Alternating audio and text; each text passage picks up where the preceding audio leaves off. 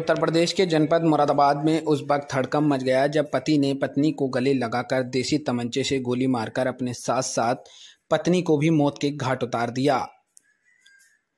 गोली की सूचना क्षेत्रवासियों को लगते ही क्षेत्र में दहशत का माहौल बन गया, जिसकी सूचना तुरंत पुलिस को दी गई। मौके पर पहुँची पुलिस ने दोनों के शवों को कब्जे में लेकर पोस्टमार्टम के लिए भेज दिया है।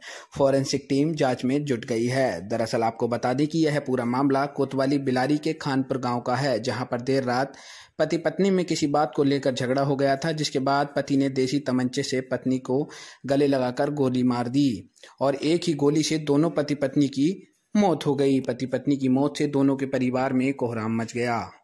एसपी देहात संदीप कुमार मीणा ने बताया कि दिनांक तेरह और चौदह की रात्रि को पुलिस को सूचना मिली थी कि बिलारी थाना क्षेत्र के खानपुर गाँव में अनेक पाल नाम के व्यक्ति, जिनकी उम्र करीब 40 वर्ष है, इसके साथ ही उनकी पत्नी सुमन पाल, जिनकी उम्र करीब 38 वर्ष है, इन दोनों की गोली लगने से मृत्यु हो गई है। सूचना मिलने पर पुलिस मौके पर पहुँची और परिजनों से बातचीत की।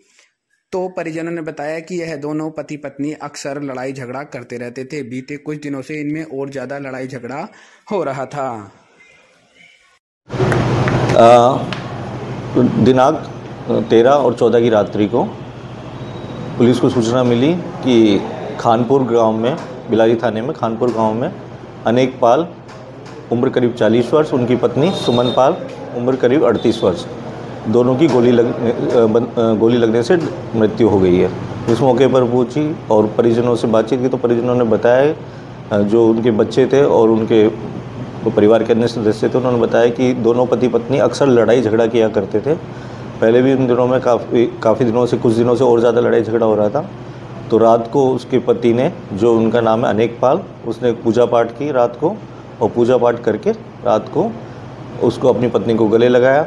और अपनी पत्नी के की तरफ़ से गोली मारी और जो उनके अनेक पाल को भी गोली उनके सीने को चीर चीरते हुए बाहर निकल गई। जिससे दोनों की मौके घायल हो गए और उनको हॉस्पिटल ले जाएगा जहाँ उनकी मृत्यु हो गई। दोनों का पोस्टमार्टम करवाया जा रहा है। घर वालों से तहरीर प्राप्त कर ली है। घर वालों ने किसी के खिलाफ़ कोई आरोप नहीं लगाया। जो जो चीज़ उन्होंने बताई उसके आधार पर ही आगे की विधिक कार्रवाई की जाएगी। कुमार कौन सा गाँव खानपुर। क्या मामला है? ये मामला आपस का पति पत्नी के मामला होगा कोई?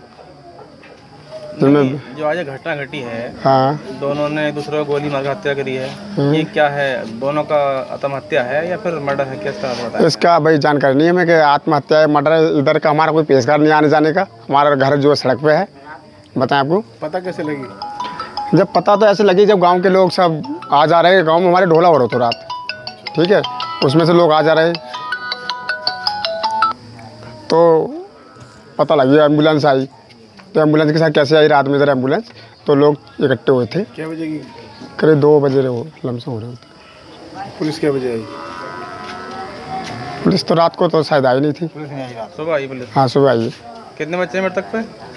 मृतक को चार बच्चे हैं। अच्छा। क्या करते थे? मजदूरी करते हैं। हाँ गाँव में बाहर करते थे। ना बाहर करते थे चंडीगढ़।